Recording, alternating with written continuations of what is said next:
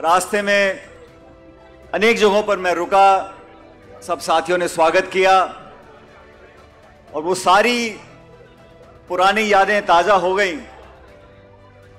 2009 में जब पहली बार मैं अजमेर आया था चुनाव लड़ने के लिए, क्योंकि दौसा लोकसभा क्षेत्र आरक्षित हो गया था तो मैं 2009 में पहली बार अजमेर में आया था तो बहुत से साथियों ने कहा कि अजमेर लोकसभा क्षेत्र में जो इतिहास रहा, वहाँ कांग्रेस पार्टी का कोई बहुत ज़्यादा मज़बूत इतिहास नहीं था।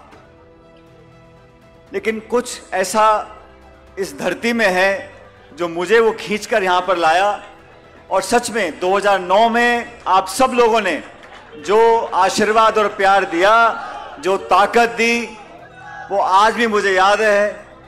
यहाँ से सांसद रहे मुझे अब लगभग 10 साल हो गए। लेकिन जब भी मुझे आने का मौका मिला, कार्यक्रम में, चुनाव प्रचार में, लोगों से मिलने के लिए, वही प्यार, वही अपनापन, वही स्नेह मुझे मिला और वो आज मुझे देखने को मिला। मैं आप सब लोगों का बहुत बहुत आभारी हूँ। विजयनगर का, मसूदा का, अजमेर के लोगों का, हमारे कार्यकर्ताओं का।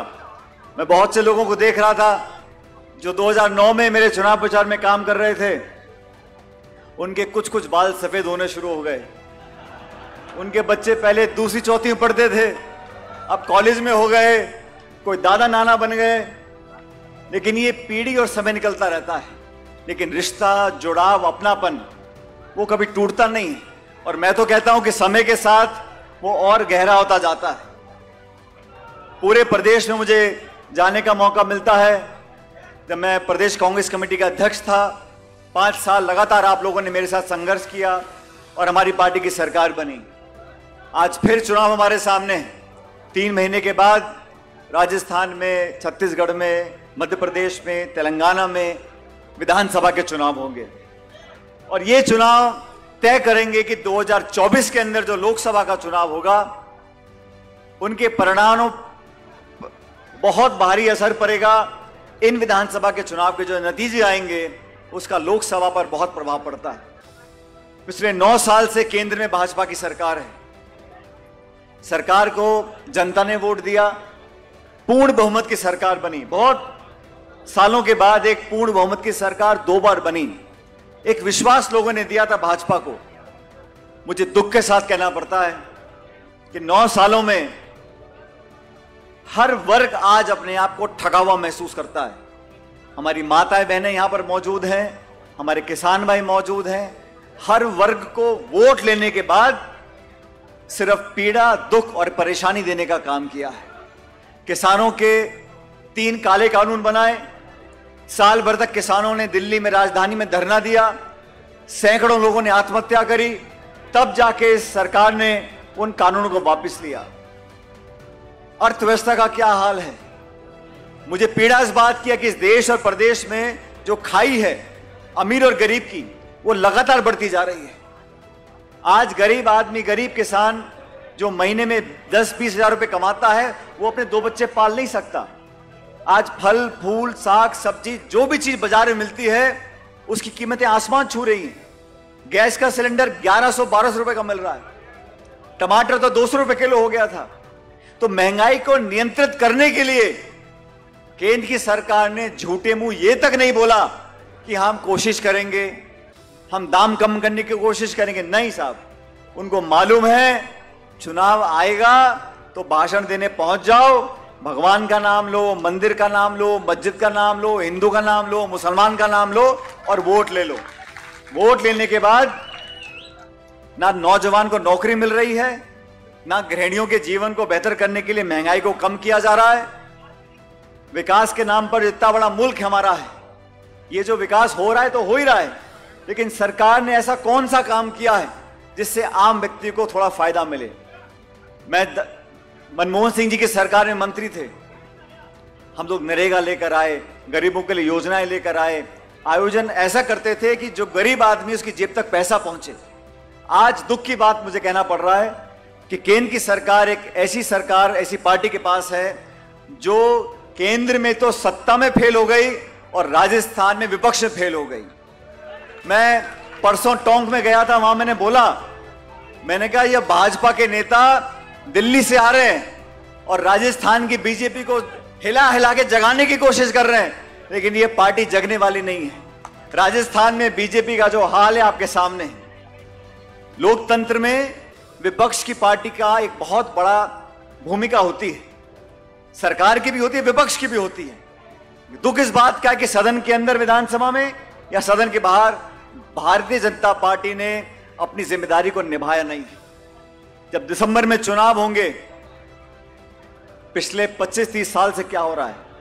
पाँच साल सरकार कांग्रेस की बनती है, पाँच साल भाजपा की बनती है। ये लगातार पाँच पाँच साल का क्रम चलता आ रहा है। कि मुझे ऐसा एहसास हो रहा है इस बार कि 2023 में इतिहास रचा जाएगा और पुनः कांग्रेस पार्टी की सरकार यहाँ बनेगी। वो इसलिए बनेगी कि हम लोगों ने अपने अपने क्षेत्रों में काम किया है। मुझे कहने में कोई संकोच नहीं है। राकेश पारिक साहब हमारे विधायक बनकर गए मसूदा से। इन पाँच सालों में सचिवालय हो, मंत्री का घर हो, मंत्री का दफ्तर हो, उसके पीछे पढ़ पढ़कर पानी हो, बिजली हो, चिकित्सा हो, स्कूल हो, सड़क हो, जो भी हो पारिक साहब ने उनके प्राण भी लिए मंत्रियों के, लेकिन आपके क्षेत्र में काम करवा कर लेकर आए हैं। मैं उनका बहुत साधुवाद देना चाहता हूँ। जब मैं सरकार में था, मैं इसलिए कह रहा हूँ कि जब मैं सरकार में था तो मेरा भी कुर्ता छोड़ा नहीं। विधानसभा के अंदर, सचिवालय के अंदर खींच खींच के खींच की, सड़क, हैंडपंप, बिजली, पानी, जो करा सकते थे, मसूदा के लिए कराया। और मेरा भी मसूदा के प्रति दिल में खास जगह है, इसलिए जितना ज़्यादा हो सका, हम लोगों ने मसूदा विधानसभा क्षेत्र में काम कराने की कोशिश करी है। तो साथियों, इस चुनाव के अंदर बहुत सोच समझकर हमें अपने मत का प्रयोग करना है। और मैं जानता हूँ कि पिछली बार जब विधानसभा चुनाव हुए थे तो इस क्षेत्र से बहुत लोग चुनाव लड़ गए थे। लेकिन आपके आशीर्वाद से कांग्रेस पार्टी जीत कर गई थी। और ये बात जो पारिक साहब ने बोली है, मैं भी दोहराना चाहता हूँ। तरह तरह की बातें आएँगी, कोई चर्चा करेगा, कोई संवाद करेगा, कोई घोषणा करेगा, कोई अफवाह फैलाएगा। लेकिन मैं कहना चाहता हूँ कि मसूदा विधानसभा क्षेत्र से कांग्रेस पार्टी जीतकर जाएगी और आपके दम पर जीतकर जाएगी। अब ऐसे जब चुनाव आते हैं, उससे पहले बहुत सारे चुनाव से ठीक पहले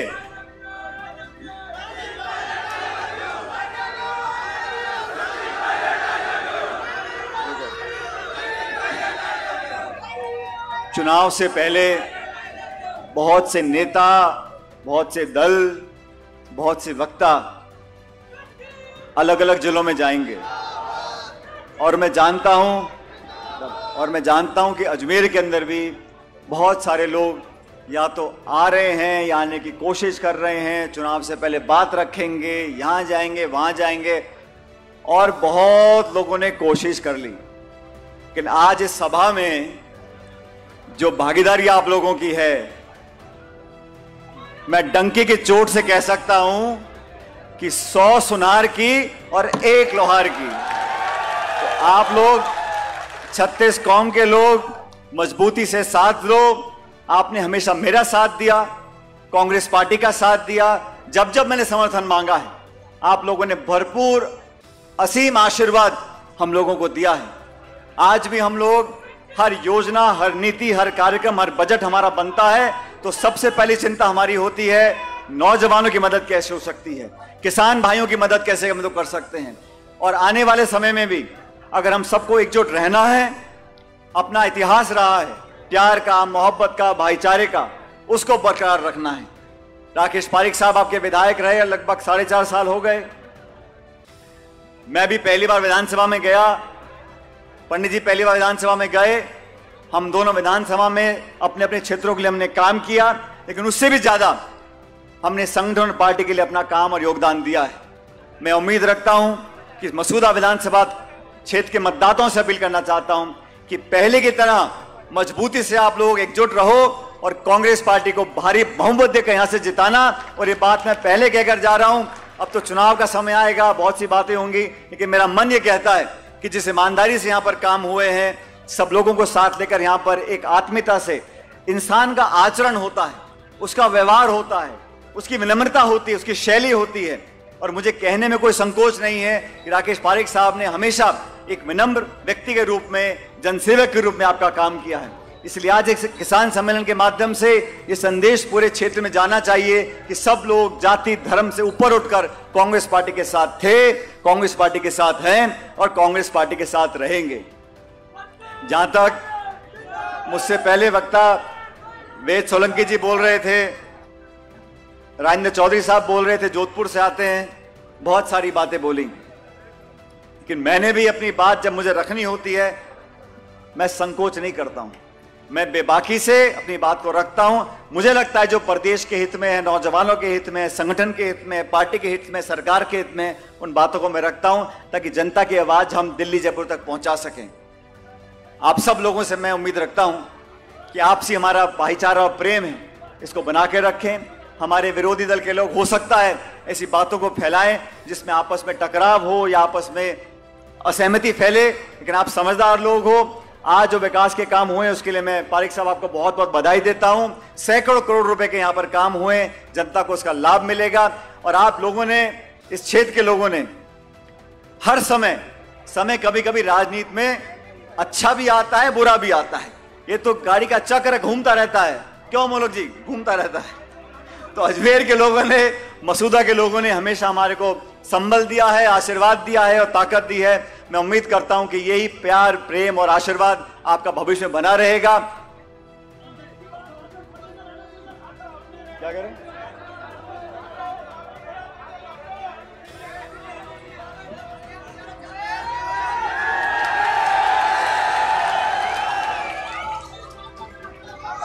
मैं दो बातें कहना चाहता हूँ। जीवन में जो रात गई, सो बात गई। जो समय निकल गया, वो वापस आने वाला नहीं है। लेकिन भविष्य में क्या होगा, ये कोई जानता नहीं है। इसलिए मजबूती से, ताकत से एकजुट पर हम पात रहे और आने वाला समय आप लोगों का होगा, पार्टी का होगा, नौजवानों का होगा, किसानों का होगा। और आप लोगों को एक बार मैं सुनो, मैं आप लोगों से कहना चाहता हूँ, दोनों हाथ खड़े कर कर कांग्रेस पार्टी को समर्थन देंगे। कांग्रेस पार्टी। माताएँ, बहने भी हाथ खड़े करें। कांग्रेस पार्टी। कांग्रेस पार्टी।